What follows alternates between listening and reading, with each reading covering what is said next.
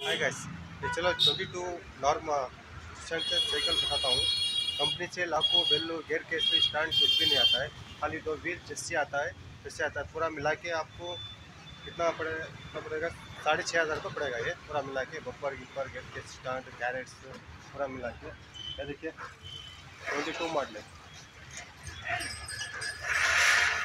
Twenty two model है।